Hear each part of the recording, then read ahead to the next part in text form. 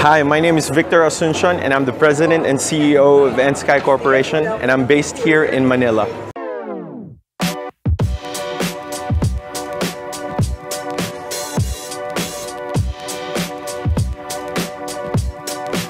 enSKY Corporation is a system integrator, so we're the people who get the Japan Solar solar panels and then um, inverters, SMA.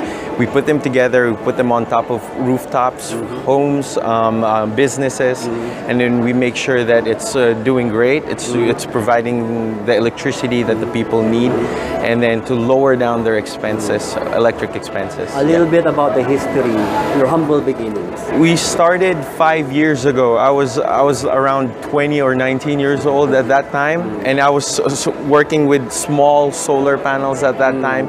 And then I thought that this is scalable. We can really use this technology to help people all over the nation. So we, we got 7,107 islands in the Philippines, so we gotta bring light to the darkest areas of the Philippines, you know?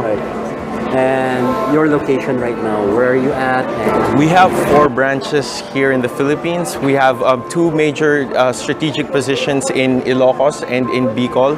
So we have all of the units available there for people who want to buy solar panels and who want uh, an installation in their home. And then we also have one in Caloocan and then we have one in Rizal as well. Let's talk about your services. Um, Victor, tell us why am I going to put my money to enSKY? Why should I choose you as my system integrator? That's a great question. Um, enSKY's focus is really the whole package after sales. You know, we're we want to engage a long-term relationship with our customers, with our clients. So it's not just getting the solar panels to work on the first year, but really to be there for the whole 25 years.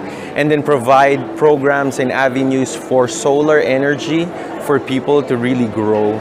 So that's one of the things that we really see. And we want to be able to develop um, new products in the future. And let's talk about your business so far and what's in store for 2019. So for 2019 is we really want to get our hands to become more technical. We want to start manufacturing our own battery technology. Um, we want to be able to have um, to have it smaller and to have it more easily accessible for people, more affordable as well.